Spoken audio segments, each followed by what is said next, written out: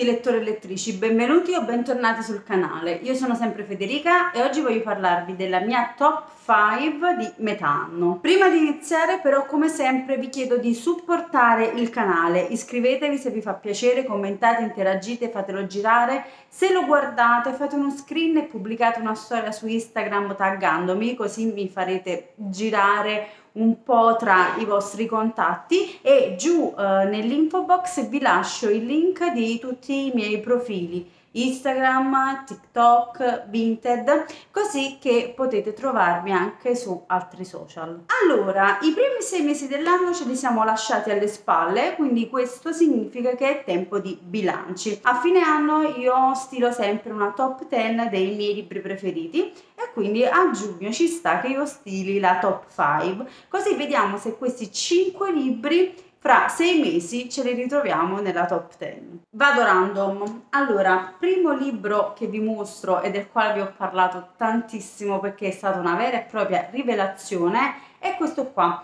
Lingua nativa eh, di Suzette Eden Elgin. L'ho letto a inizio anno, a gennaio se non sbaglio, e l'ho letto con il gruppo di lettura Strani Mondi eh, che si propone di portare la fantascienza sui social. E Lingua nativa è un libro di fantascienza, anche se la fantascienza non è proprio la caratteristica predominante di questo libro, ma l'autrice utilizza la fantascienza per parlare d'altro, come spesso fanno gli autori di uh, questo genere. Spesso vi parlo di Philip Dick, che è uno dei miei autori preferiti nel mondo e nell'universo, che è un autore di fantascienza, forse uno dei più autorevoli del secolo e uh, vi dico spesso che Philip Dick utilizza la fantascienza per parlare d'altro e lo stesso fa l'autrice di Lingua Nativa, che utilizza la fantascienza che non è predominante in questo mondo perché cosa abbiamo di fantascienza all'interno di lingua nativa? Abbiamo macchine volanti, vabbè non sono così astruse, abbiamo degli orologi computerizzati, ma vabbè ormai l'Apple Watch o il Fitbit sono computer al polso quindi non sono cose così astruse. E abbiamo degli alieni eh, che interagiscono con i protagonisti, protagonisti che sono dei traduttori,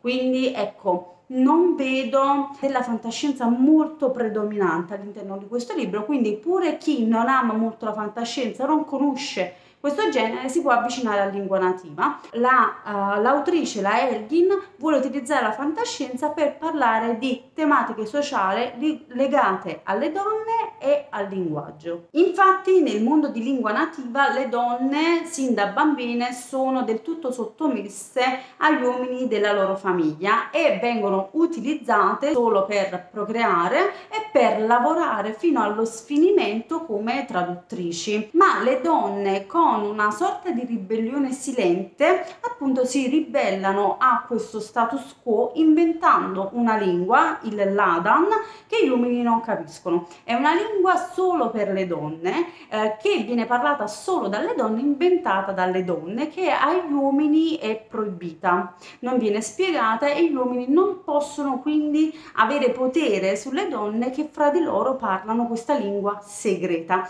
Quindi la Egin ci parla di come come la lingua è uno strumento potente per la ribellione e come chi uh, manipola il linguaggio, chi crea il linguaggio può essere più forte di chi utilizza la forza uh, per sottomettere gli altri. Vado avanti, pesco random, secondo libro che vi mostro, già ve l'ho mostrato in altri video, e poi saremo salvi di Alessandra Carati che era in dozzina strega e che è arrivato anche in settina strega. Di cosa parla? Parla di una ragazzina che nel 92 con la famiglia scappa dalla Bosnia dove c'è la guerra e arriva in Italia. La protagonista arrivata in Italia si sentirà eh, divisa fra due mondi, quello della famiglia eh, che tiene molto alle sue radici bosniache, che è stata strappata da queste radici bosniache, e il mondo italiano eh, nel quale la protagonista vuole inserirsi. Infatti poi dopo le scuole medie lei farà il classico, diventerà una dottoressa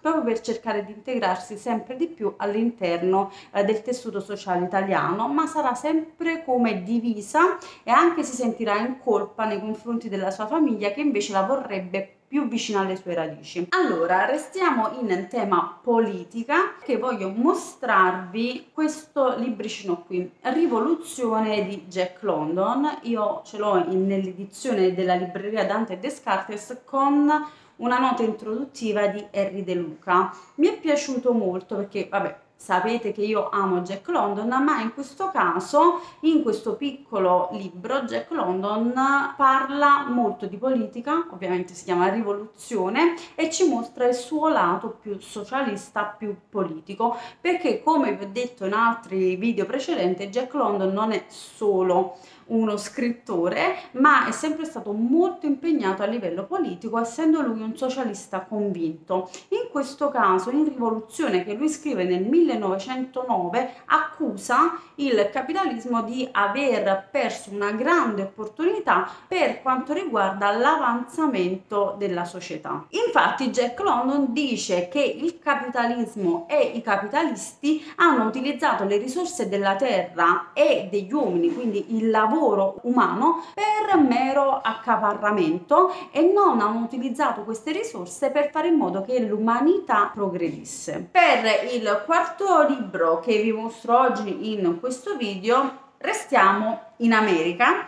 e uh, vi mostro Crepuscolo di William Gay che mi è piaciuto da morire ma già lo sapete perché ne ho parlato spesso in video precedenti.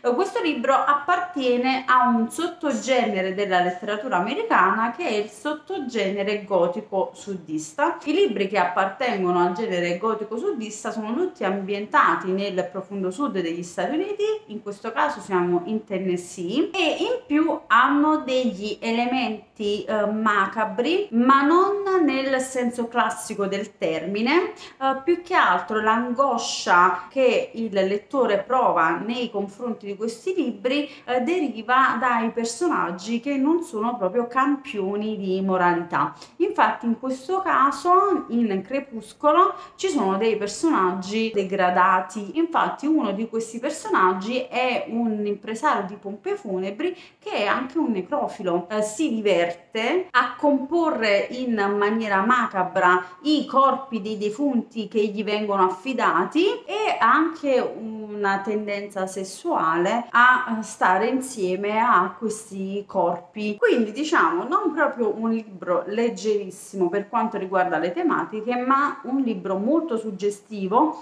eh, dal quale io non riuscivo a staccarmi. Quindi se volete una lettura che vi farà palpitare, sicuramente Crepuscolo è una di quelle. Ultimo libro che vi mostro nella top 5 di metà anno, passiamo alla letteratura giapponese, ma ritorniamo alla fantascienza perché parliamo di Clara e il Sole di Ishiguro. Clara e il Sole è stato un caso editoriale, io l'ho apprezzato molto con Strani Mondi, il gruppo di lettura eh, di fantascienza che sto portando avanti. Anche in questo caso Ishiguro utilizza la fantascienza per parlare d'altro. Infatti io mi chiedo sempre ma cosa leggono eh, coloro che dicono che la fantascienza è un genere di serie B, perché la fantascienza è un contenitore, utilizza dei termini diversi rispetto ad altri generi, ma parla di argomenti profondamente legati all'animo umano. Ad esempio, Ishiguro in questo caso utilizza Clara, che è un androide, quindi non è un essere umano, uh, per parlare di fede, di speranza e anche di religiosità. Ishiguro ci fa vedere come Clara, che è un androide, riesce ad avere più fede più speranza rispetto agli umani. E quindi domandiamoci cosa ci rende umani se non riusciamo più a sperare, se non riusciamo più ad avere fede, se non riusciamo più a pregare in qualcosa di superiore, in qualcuno di superiore, siamo veramente umani? E quanto è una cosa questo androide che invece riesce a fare tutto ciò?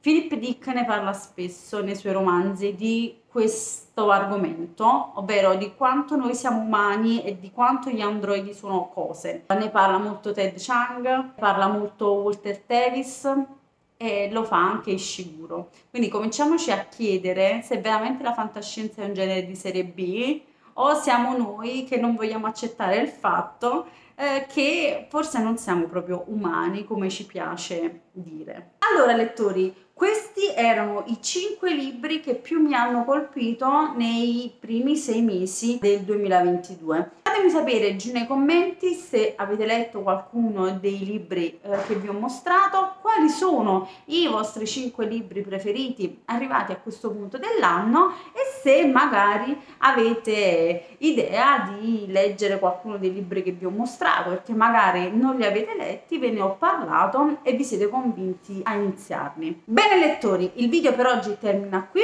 vi lascio come sempre un grande bacio, al prossimo video, ciao ciao!